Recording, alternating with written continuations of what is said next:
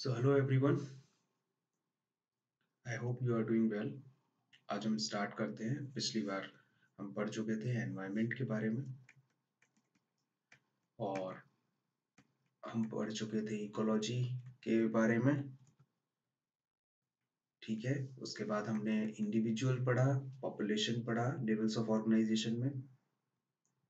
Community पढ़ा। आज हम पढ़ेंगे इकोसिस्टम देखिए हमने पढ़ा था इंडिविजुअल से मिलके क्या बनता है? पॉपुलेशन और पॉपुलेशन से मिलके बनता है कम्युनिटी अब यही जो कम्युनिटी बन चुकी है, अब ये बहुत सारी कम्युनिटीज आपस में मिलेंगी, ठीक है? और आपस में इंटरेक्शन करेंगी और साथ ही साथ इंटरेक्शन करेंगी बायोटिक और अबायोटिक कंपोनेंट से है? जो इकोसिस्टम के होंगे, उसको इकोसिस्टम बोला जाता है। अभी समझते हैं इस बात को कि ये क्या होता है। देखिए, जो कंपोनेंट आपने एनवायरनमेंट में पढ़े थे बायोटिक और अबायोटिक वही कंपोनेंट आपके इकोसिस्टम के भी होते हैं। बायोटिक कंपोनेंट और अबायोटिक कंपोनेंट ठीक है? बस अंतर क्या है कि एनवायरमेंट में अफेक्ट कर रहा होता है एनवायरमेंट उस ऑर्गेनिज्म को और इकोसिस्टम में जो ऑर्गेनिज्म है, वो इंटरेक्ट कर रहा होता है, ठीक है? या तो वो अपने आप में इंटरेक्ट करेंगे, जो कंपोनेंट होंगे, या और सॉरी ऑर्गेनिज्म होंगे, या फिर वो इंटरेक्ट करेंगे बायोटिक और अबायोटिक कंपोनेंट से तो इंटरेक्शन जो है वो इंपॉर्टेंट पॉइंट है। ठीक है? जब तक इंटरेक्शन नहीं होगा, तब तक इकोसिस्टम नहीं होगा। तो ecosystem is a community of organism interacting with each other and with their environment such that the energy is exchanged with the help of system level processes such as cycling of elements जब अब देखिए जब वो interaction करेंगे ठीक है या तो कंपोनेंट ऑफ़ एनवायरनमेंट के कंपोनेंट से या फिर अपने आप से तो क्या होगा एनर्जी एक्सचेंज होगा ठीक है आपने पढ़ा होगा कि क्या होता है law of conservation of energy सबसे बेसिक लॉ है कि energy can neither be created nor be destroyed but transform from one form to another. ठीक है? तो यही होता भी है। ये सब क्या हो रहा है? जब इंटरेक्शन होगा तो एनर्जी क्या होगी? ट्रांसफॉर्म होगी एक्सचेंज होगी। जैसे सनलाइट था प्लांट ने ले लिया। ठीक है? अब वो सनलाइट जो है प्लांट में स्टोर हो गई। प्लांट को किसी एनिमल ने खा लिया। तो अब वो स्टोर कहाँ हो गई एनर्जी ट्रांसफॉर्म हो गई। किसके पास? एनिमल के पास। एनिमल को किसी दूसरे एनिमल ने खा लिया। तो वो उसके पास ट्रांसफ़र हो गई। तो ये क्या चल रहा है? एक्सचेंज ऑफ़ एनर्जी किसके थ्रू हो रही है? इसी इकोसिस्टम में हो रही है। कैसे हो रही है? ऑर्गेनिज्म का आपस में इंटरेक्शन या फिर एनवायरनमेंट के कंपोनेंट के साथ जो इनका इंटरेक्शन है। ठीक है? इंटरेक्शन कैसे होता है? मैंने आपको बताया। जैसे फोटोसिंथेसिस हो गई। ठीक है? जैसे फ़ूड चेन हो गई। तो फोटोसिंथेसिस से प्लांट ने फ़ूड बनाया। फिर फ़ूड चेन में प्लांट को खा लिया किसी हर्बीवोरस ने। ठीक है? डियर ने खा लिया डियर को शेर ने खा लिया तो ये एनर्जी क्या हो रही है? एक्सचेंज होती जा रही है फिर, ठीक है? तो इकोसिस्टम क्या है? मैंने बताया इकोसिस्टम के लिए इंपॉर्टेंट चीज़ आपको क्या समझनी है? कि जब एनवायरमेंट के कंपोनेंट में और जो कम्युनिटी है, ठीक है, उनमें, आपस में या फिर कंपोनेंट के साथ इंटरेक्शन शुरू हो जाता है तो उसी इंटरेक्शन के, उससे जो सिस्टम बना, उसको इकोसिस्टम बोलते हैं। ठीक है? सिंपल है। कि it is a structural and functional unit of biosphere ठीक है? ये बायोस्फेयर की, अब बायोस्फेयर क्या है? बायोस्फेयर क्या है ना? देखिए, आपके उसमें अभी इमेजेस आप देख लीजिए। देखिए ये बायोस्फेयर बायोस्फेयर क्या है? कि हाइड्रोस्फेयर है, जहाँ आपकी अर्थ पे पूरा पानी पानी है तो वो हाइड्रोस्फेयर बोला जाता है।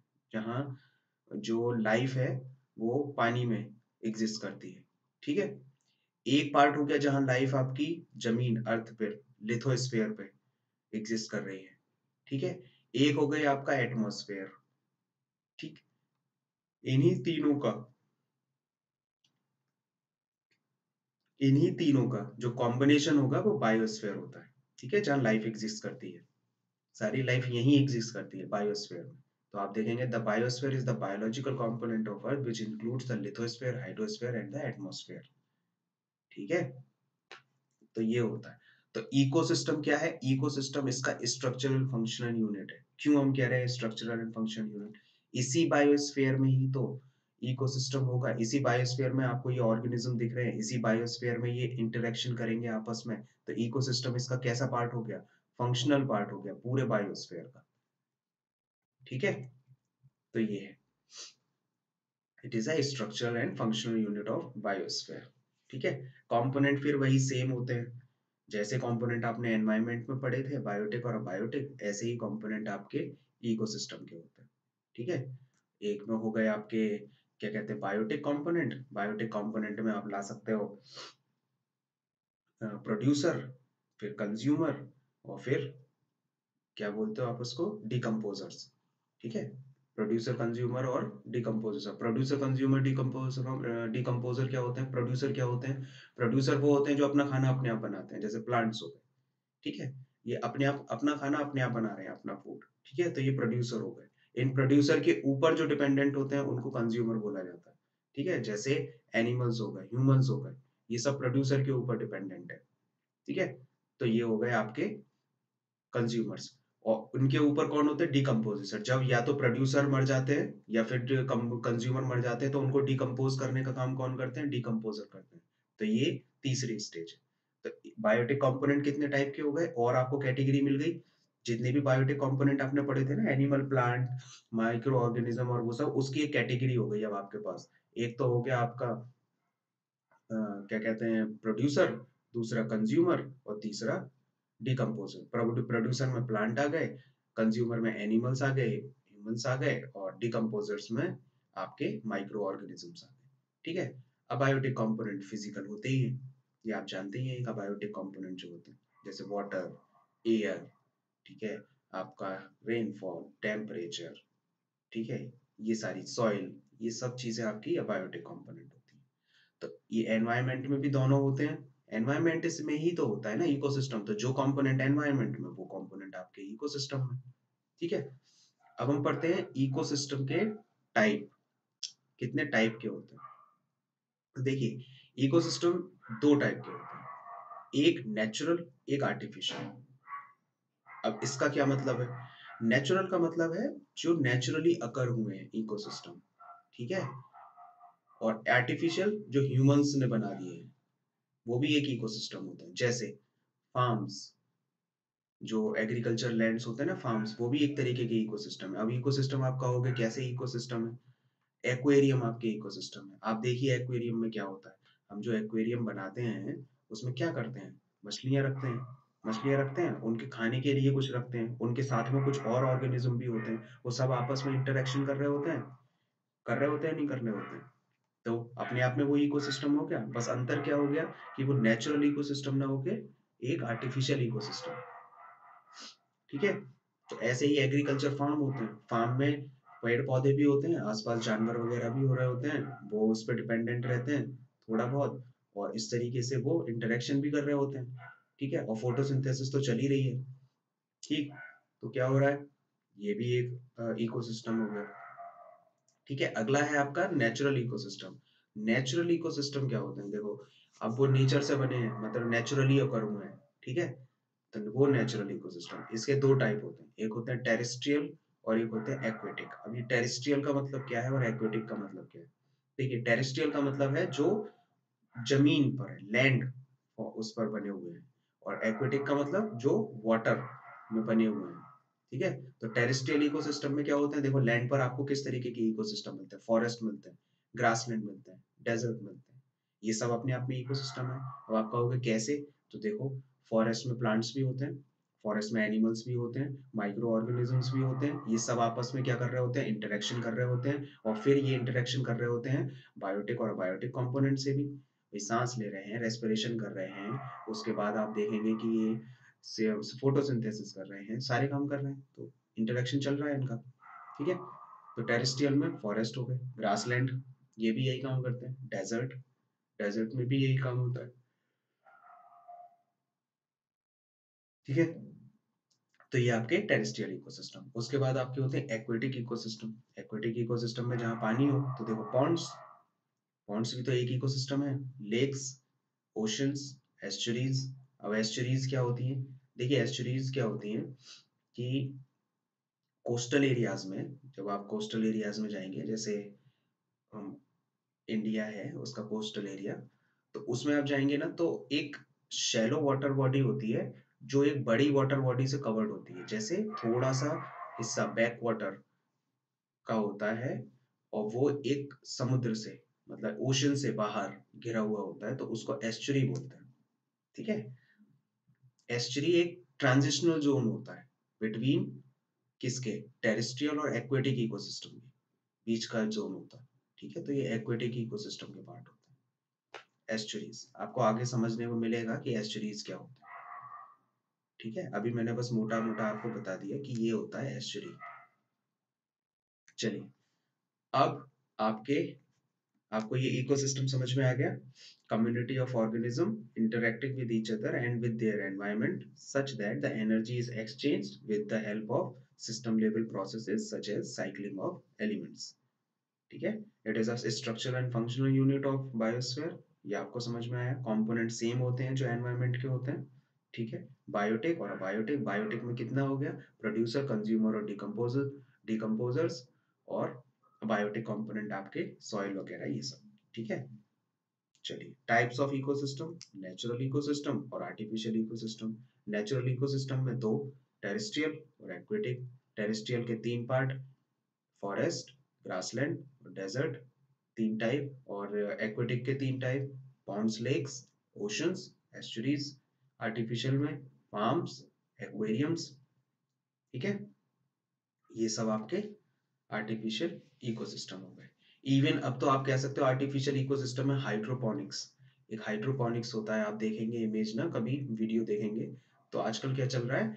एक्वापोनिक्स और हाइड्रो ओ सॉरी एक्वापोनिक्स और एग्रोपोनिक्स उन दोनों का कॉम्बिनेशन करके हाइड्रोपोनिक्स आ गया है। उसमें क्या होता है? एक इकोसिस्टम एक पॉन्ड बना दिया जाता है आर्टिफिशियली कहीं भी लैंड पे और उसमें पानी चलता रहता है, और उस पानी में जो है वो ऐसी क्रॉप्स लगाई जाती हैं क्रॉप्स कह लीजिए आप, या ऐसे पेड़ लगाए दिए जाते हैं और साथ ही साथ में उसमें आप एक्वाकल्चर करते हैं, मछली वगैरह और वो सब पालते हैं, ठीक है? अब क्या होता है, उनका जो एक्सक्रीटा होता है वो यूजफुल हो जाता है उन पेड़ों के लिए, वो कंज्यूम कर लेते हैं और वो ग्रो करने लगते हैं, ठीक है? और उन पेड़ों से जो निकला, वो ये जो है एनिमल जो फ़िश और ये सब है, ये कंज्यूम कर लेते हैं। तो इनका दोनों का आपस में सर्वाइवल चलता रहता है और इस तरीके से हाइड्रोपोनिक्स एक आर्टिफिशियल इकोसिस्टम हो सकता है। ठीक है? चलिए, आगे बढ़ते हैं बायोम। देखिए बायोम क्या होता है। बायोम क्या होता है कि एक ऐसा बड़ा जोग्राफिकल रीजन ठीक है? नेचुरली अकरिंग होगा, एक ऐसा बड़ा ज्योग्राफिकल रीजन होगा जहाँ सेम क्लाइमेटिक कंडीशंस होंगी। बहुत बड़े एरिया में, ठीक है? आप बहुत बड़ा एरिया आपने देख लिया, जैसे आप देखेंगे टुंड्रा टैगा ये सब आप देखेंगे, ठीक है? तो ये सब ऐसे जोग्राफिकल एक तो बहुत बड़ा अपने आप में एक्सटेंशन है इनका, और इसमें क्या होगी ना, इसमें जो क्लाइमेटिक कंडीशंस होंगी, ठीक है? क्लाइमेटिक कंडीशंस जैसे वेजिटेशन सॉइल टेम्परेचर ठीक है? और सेलिनिटी ठीक है? फ्लोरा फोना इनमें सब में ना एक सिमिलैरिटी मिलेगी आपको, इतने बड़े एरिया में, ठीक है? तो उस चीज़ को जब आप बोलते हो तो उसको बायोम बोला जाता है। ठीक है? तो आप देखिए, biome is a large naturally occurring community of flora and fauna, of flora and fauna occupying a major habitat. ठीक है? They are characterise by climate, vegetation, soil, fauna etcetera the climate factor generally determined boundaries of biome. ठीक है? अब आप देखिए, जैसे rain forest biome. Rain forest क्या होते हैं? रेन फॉरेस्ट जो है ना, एक बहुत बड़ा, जैसे बोलते हैं ट्रॉपिकल रेन फॉरेस्ट अब ये क्या है, ये बहुत बड़े एक्सटेंशन में और ये एक बायोम हो गया. क्यों एक बायोम हो गया? क्योंकि इतने बड़े एरिया में, जो इतना बड़ा एरिया है आपका, उसमें सेम सेम वेजिटेशन मिल रहा होगा. टेम्परेचर लगभग सेम होगा. ठीक है? और रेनफॉल सेलिनिटी ठीक है? तो इस तरीके की जो चीज़ें हैं, जो फैक्टर्स हैं, वो सब सेम हैं. ठीक है? इस वजह से इसको पूरे को बायोम बोल दिया जाता है, ऐसे टुंड्रा बायोम। ठीक है?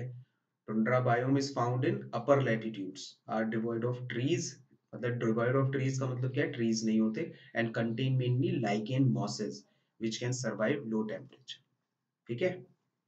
ये होते हैं आपके बायोम। ठीक है? इमेजेस चलिए। बायोम में क्या होता है? Plants and animals in a biome have common common characteristics due to similar climate and can be found over a range of continent ठीक है? पूरा कॉन्टिनेंट है, उसमें ऐसा नहीं है, सिर्फ़ इंडिया इंडिया में कोई बायोम होगा। हो सकता है इंडिया को भी कवर कर रहा हो, साथ के और दस दस बारह कंट्रीज़ को कवर कर रहा हो, तब जाके उसमें सब में एक सी कंडीशन मिल रही होगी। तो फिर वहाँ पर एक बायोम क्रिएट हो जाएगा, उसको बायोम बोला जाएगा। ठीक है? चलिए, अगला है अब आपका बायोस्फेयर। तो बायोस्फेयर क्या है? बायोस्फेयर कुछ नहीं है। मैंने आपको बताया था, ये क्या होता है? इट इज़ अ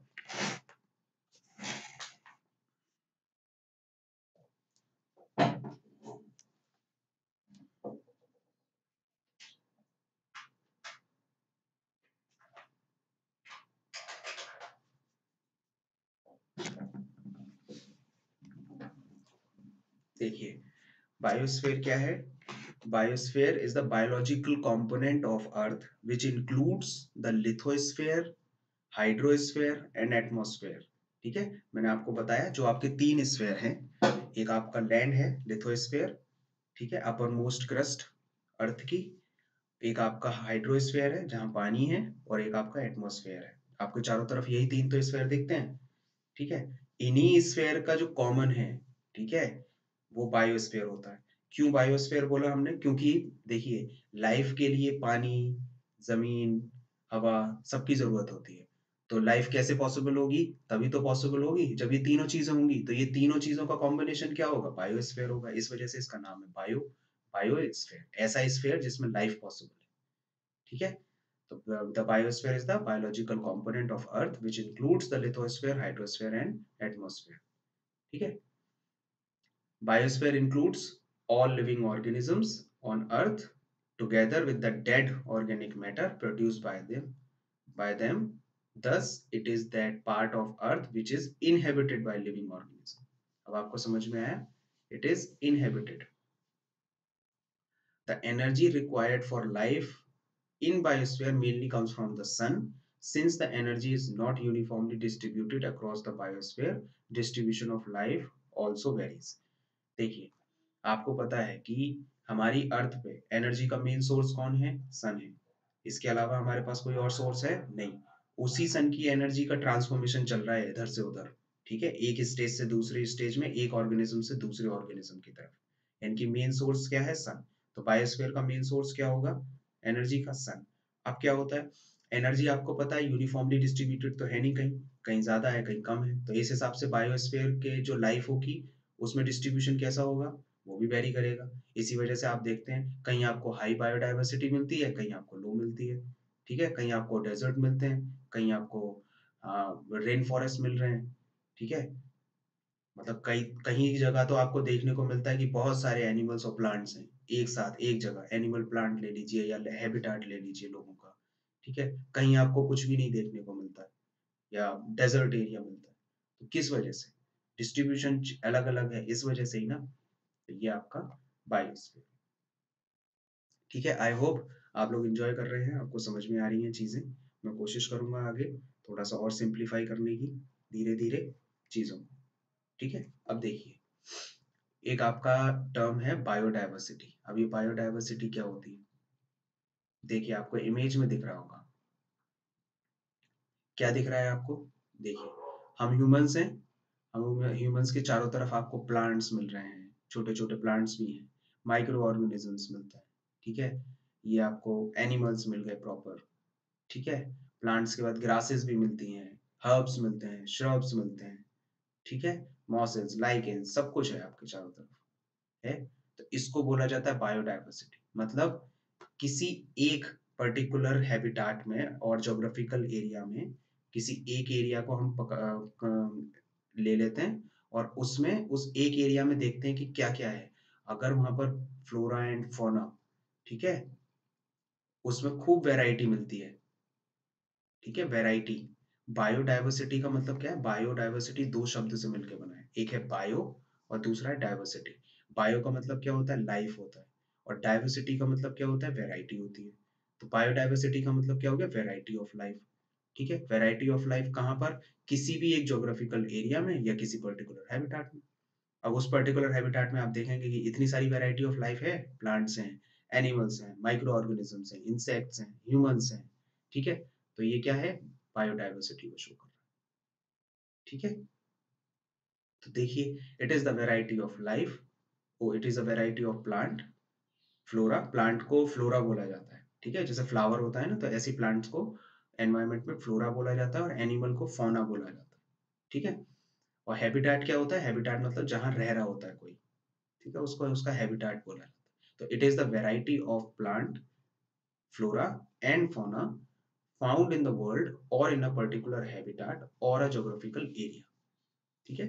तो इसको आप बोलते हैं बायोडाइवर्सिटी ठीक है? आप भी अपने चारों तरफ़ देखते हैं कितनी सारी डाइवर्सिटी है आपको इंडिया को बोला ही जाता है mega diverse country mega diverse country का बोलने का मतलब है कि बहुत सारी डाइवर्सिटी है।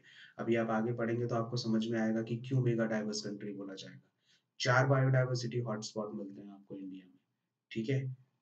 चार बायोडाइवर्सिटी हॉटस्पॉट ठीक है? और बहुत सारी चीज़ें मिलती हैं। एंडमिज्म एंडमिक स्पीसीज आपके यहाँ बहुत सारी है, ठीक है? तो ये सारे पैरामीटर होते हैं जिस वजह से इंडिया को मेगा डाइवर्स कंट्री बोला जाता है, ठीक है? तो ये हुआ आपका बायोडाइवर्सिटी अब अगर आप एक क्वेश्चन अटेम्प्ट करना चाहें तो इसका आंसर आप लोग लगाएँगे कि which one of the following is the best describe the term of ecosystem ठीक है? तो इसका आंसर क्या होना चाहिए? इसका आंसर होना चाहिए community of organism together with the environment in which they live बताया था मैंने कि टुगेदर या तो वो खुद से इंटरेक्शन या फिर एनवायरमेंट से इंटरेक्शन ठीक है? नेक्स्ट क्वेश्चन आपका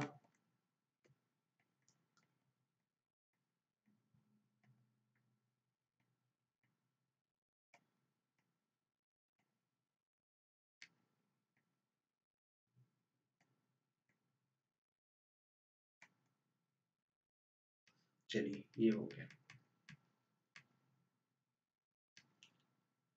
ठीक है?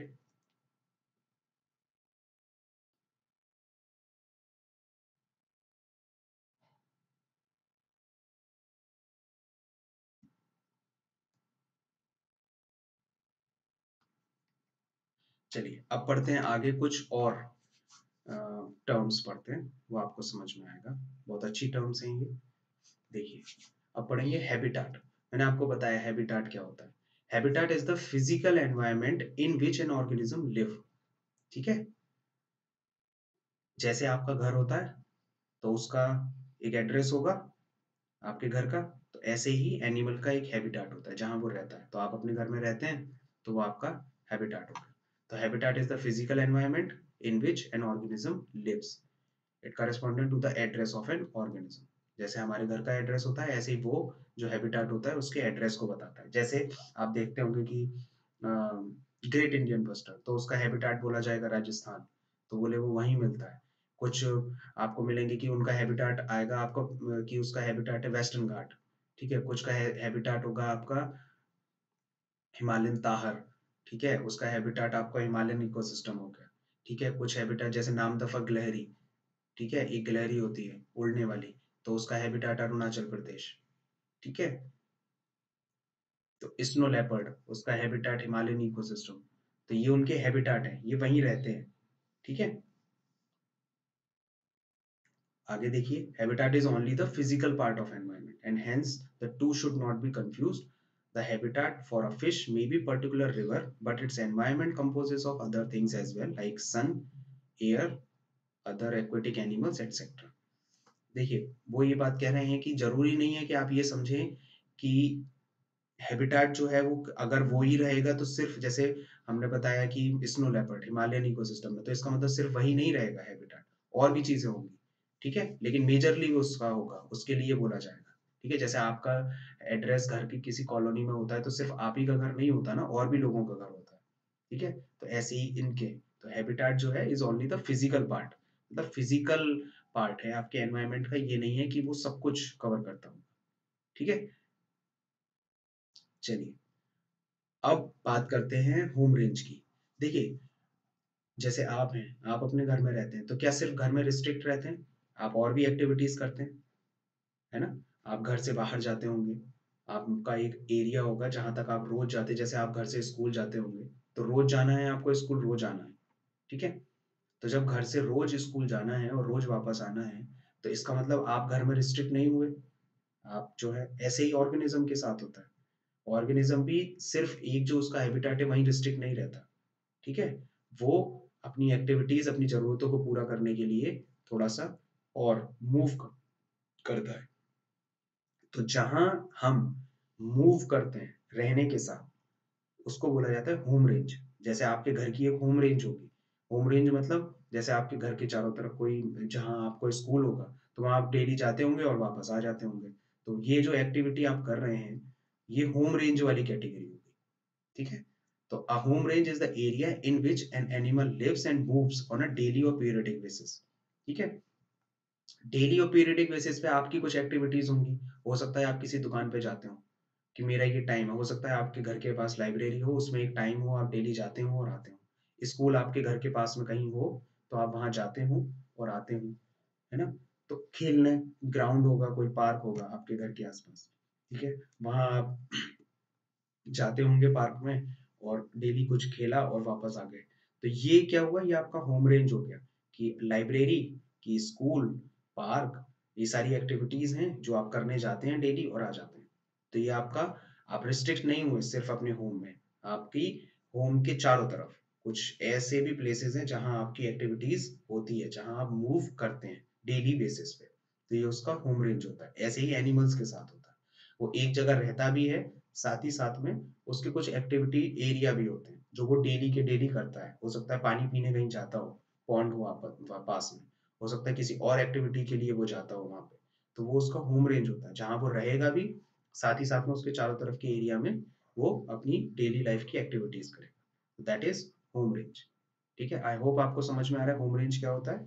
Home range is the area in which an animal lives and moves on a daily or periodic basis ठीक है?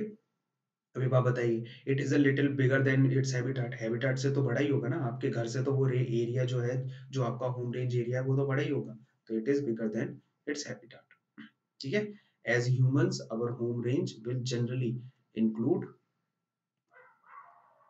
generally include the area from देखिए, आपका होम आपका ऑफ़िस आपका मार्केट फिर आपका होम आप यहाँ से गए ऑफ़िस गए मार्केट गए, वापस आप अपने घर आ गए। ठीक है? तो ये आपका होम रेंज हो गया। नेक्स्ट नेक्स्ट है आपका इकोलॉजिकल निश्चय अब ये इकोलॉजिकल नीश या इकोलॉजिकल निश्चय क्या होता है? देखिए। हैबिटाट बताता है आपका एड्रेस ठीक है? फ़िज़िकल एड्रेस बता देता है कि ये कोई कहाँ रहता है। इकोलॉजिकल निश्चय जो होता है ना, वो किसी भी ऑर्गेनिज्म का फंक्शनल एड्रेस बताता है। ठीक है? वो उसका प्रोफेशन बताता है वहाँ पे। ठीक है? हैबिटाट बताता है एड्रेस तो नीश बताएगा उसका प्रोफेशन हैबिटाट बताएगा फ़िज़िकल एड्रेस तो नीश बताएगा उसका फंक्शनल एड्रेस फंक्शनल एड्रेस का मतलब क्या है? फंक्शनल एड्रेस का मतलब कहने का मतलब ये कि जहाँ वो ऑर्गेनिज्म फ़ंक्शन करता है। जैसे आप एक पेड़ देखिए। ये आपको पेड़ दिख रहा है। देखिए इन सारे ऑर्गेनिज्म का हैबिटेट लगभग ये पेड़ है। है? ये यहाँ पर इसकी जड़ में रह रहे हैं, ये यहाँ रह रहे हैं, ये इसके जो कहते हैं इसके ब्रांचेस पे रह रहे हैं, ठीक है? लेकिन इनके सबके फ़ंक्शंस फंक्शनल रोल इसी पेड़ में अलग अलग है। देखिए, ये माइक्रो ऑर्गेनिज्म जो है वो रूट में फ़ंक्शन करेंगे पेड़ की, ठीक है?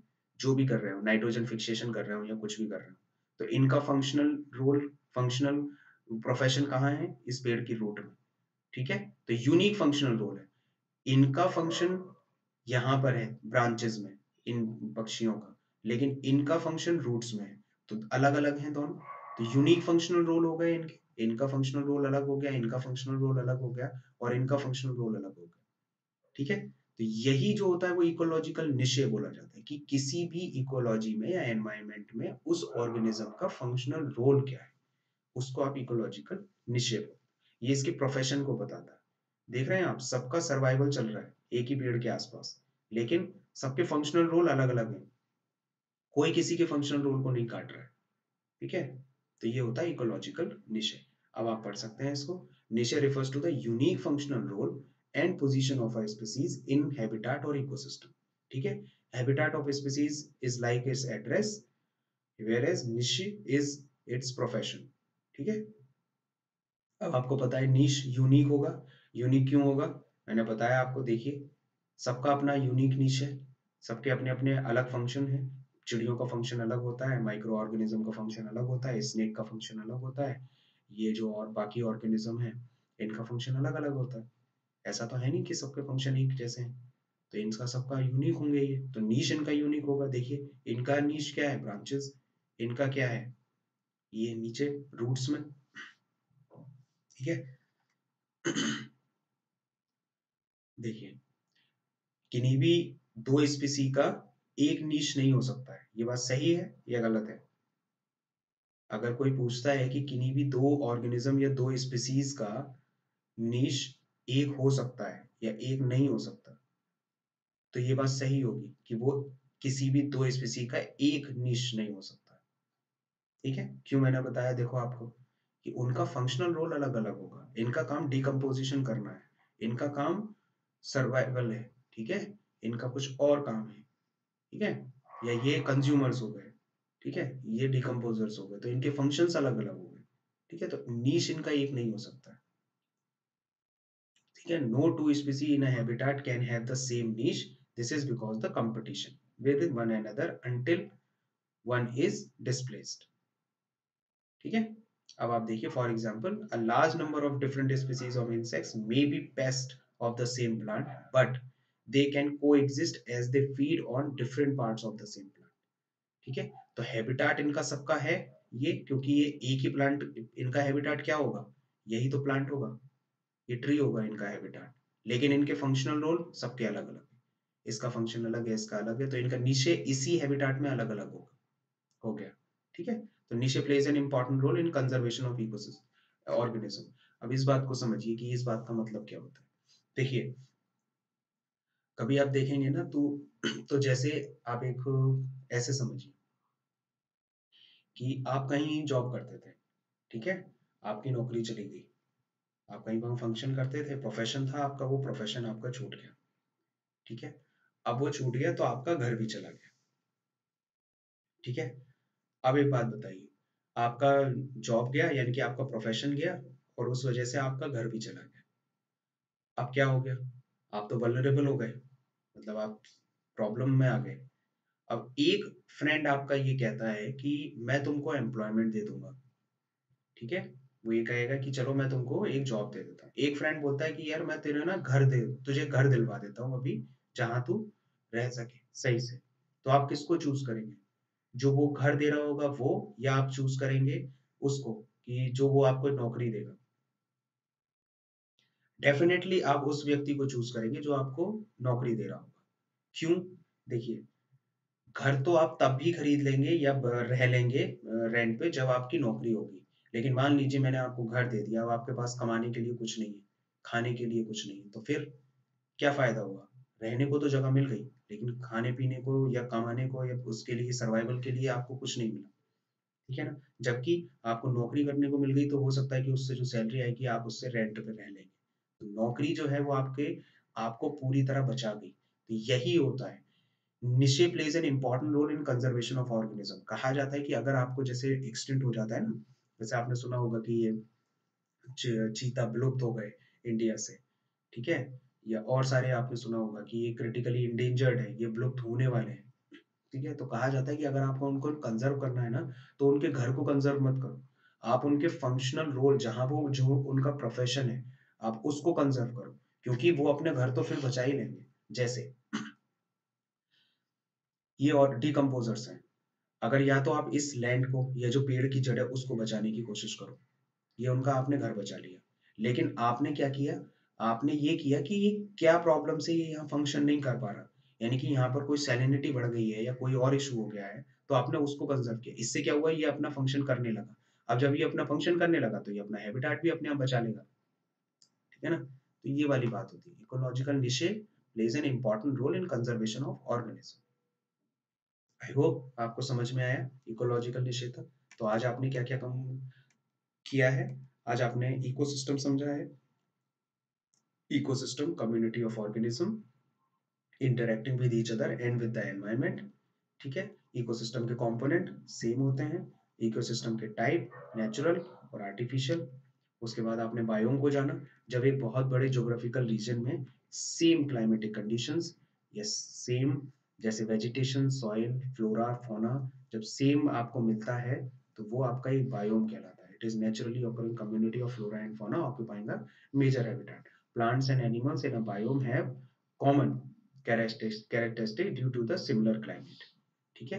And can be found over a range of continent ठीक है? जैसे आपने टाइप पढ़ा कि tundra biome rain forest biome ये सब, इनकी कैरेक्टरिस्टिक्स क्या होती है? पूरे एरिया की एक जैसी होती है। एक जैसा क्लाइमेट एक जैसा वेजिटेशन एक जैसा soil flora fauna temperature rainfall लगभग सब एक जैसा, ठीक है? उसके बाद आपने बायोस्फीयर पढ़ा। जहाँ मैंने बताया कि इसका नाम बायोस्फीयर क्यों है? क्योंकि रहने के लिए पानी, धरती, हवा तीनों चाहिए। तो जो लाइफ कहाँ पॉसिबल होगी? इसी बायोस्फीयर ठीक है? तो ये क्या होता है? बायोस्फीयर होता है, जहाँ हाइड्रोस्फीयर लिथोस्फीयर और एटमोस्फेयर मिलते हैं। बायोडाइवर्सिटी मैंने बताया आपको variety of life bio means life diversity means variety तो वेराइटी ऑफ़ लाइफ किसी जोग्राफिकल एरिया में पर्टिकुलर एरिया में जहाँ एग्जिस्ट करती है, उसको आप बायोडाइवर्सिटी तो it is a variety of plant flora and fauna found in a world or in a particular habitat or in a geographical area. This is biodiversity. फिर आपने हैबिटाट को समझा। हैबिटाट क्या होता है किसी ऑर्गेनिज्म का? ये एक फ़िज़िकल एनवायरनमेंट होता है। ध्यान रखना फ़िज़िकल पार्ट ऑफ़ एनवायरनमेंट होता है। सब कुछ नहीं होता है। जहाँ